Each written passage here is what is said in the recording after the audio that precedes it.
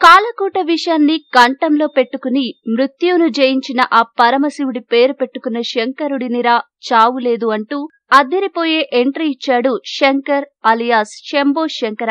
శకలక శంకర్గా తెలుగు లోకిళ్ళకు పరిచయస్తుడైన శంకర్ కామెడీలోనే కాదు హీరోయిజంలోనూ సత్తా చాటేందుకు తెలుగు ప్రేక్షకుల ఆశీస్సులు కోరుతూ ఈ నెల ఇరవై తొమ్మిదిన థియేటర్లలోకి వస్తున్నాడు. కమెడియన్లు హీరోలైతే అంగీకరించని వాళ్ళుంటారు. కానీ శంకర్ రాకను మాత్రం ఎందరో స్వాగతిస్తున్నారు.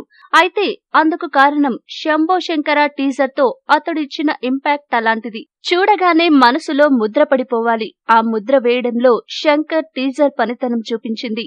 ఎందరు కమెడియన్లు ఉన్నా తనకు మాత్రమే సాధ్యమయ్యే మేనరిజమ్స్తో టీజర్ ఆద్యంతం శంకర్ రక్తి కట్టించాడు. మాసిజం రొమాన్స్ హాస్యం ఎమోషన్ ఫైట్స్ ఇన్నింటిని కలగలిపి అతడు చూపించిన ఆహార్యం వీక్షకుల్ని కట్టిపడేస్తోంది. పువ్వులు ఎంతందంగా ఉంటాయో అమ్మాయిలు నవ్వితే అంతందంగా ఉంటారా అంటూ రొమాంటిక్ యాంగిల్ని ఎలివేట్ చేశాడు.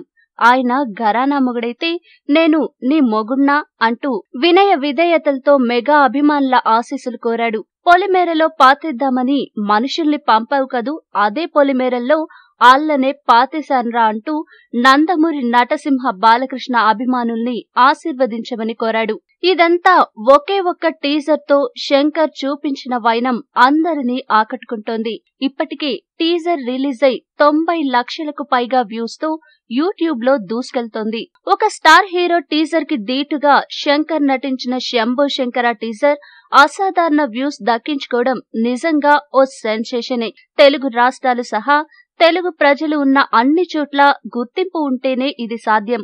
శంకర్ ఆ ఫీట్ని సాధ్యం చేస్తున్నాడు. ఈ చిత్రం బాక్సాఫీస్ వద్ద ఘన విజయం సాధించి సత్తా చాటుతుందన్న అంచనాలేర్పడ్డాయి. శంకర్ని హీరోగా శ్రీధర్ ఎన్ దర్శకుడిగా పరిచయం చేస్తూ ఆర్ఆర్ పిక్చర్స్ సంస్థ ఎస్కే పిక్చర్స్ సమర్పణలో వై రమణారెడ్డి సురేష్ కొండేటి సంయుక్తంగా నిర్మించిన ఈ చిత్రం ఈ నెల ఇరవై తొమ్మిదిన విడుదల కానుంది.